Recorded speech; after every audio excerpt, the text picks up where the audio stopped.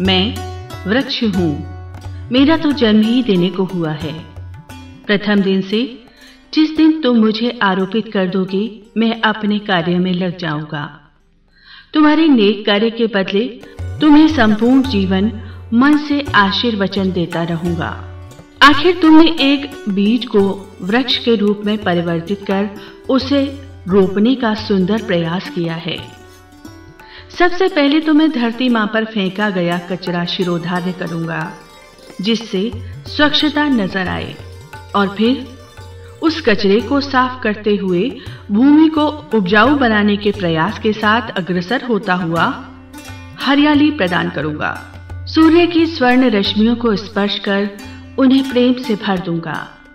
जब कभी आकाश में उड़ते पंछियों को विश्राम तथा आश्रय की ज़रूरत होगी, मैं उनके लिए उनका घर बन जाऊँगा। सूरज की तेज रोशनी से जब तुम व्यथित हो जाओगे, मैं अपनी शीतल छाया में तुम्हें विश्राम करने की जगह प्रदान करूँगा। तुम्हारे जीवन के लिए सर्वाधिक उपयोगी ऑक्सीजन प्रदान कर तुम्हें स्वस्थ रखने का प्रयास करूँगा। फूल, फल, सब्ज़ी, अनाज ये सब मैं तुम्हें देता रहूँगा। यहाँ तक कि कई उपयोगी औषधियाँ भी। मैं जानता हूँ, जीवन के आरंभ से अंत तक लकड़ी की कितनी उपयोगिता है तुम्हारे लिए।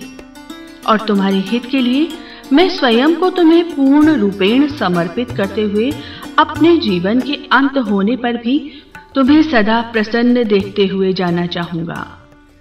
पर क्या तुम मुझसे एक वादा कर सकते हो? मेरे जाते वक्त कुछ और पौधे आरोपित करने का वादा। क्योंकि तुम सदा प्रसन्न रह सको। मैं तुम्हें सदैव प्रसन्न देखना चाहता हूँ। क्या तुम कर सकते हो ये प्रयास? मेरे लिए नहीं, संपूर्ण जगत के हित के लिए।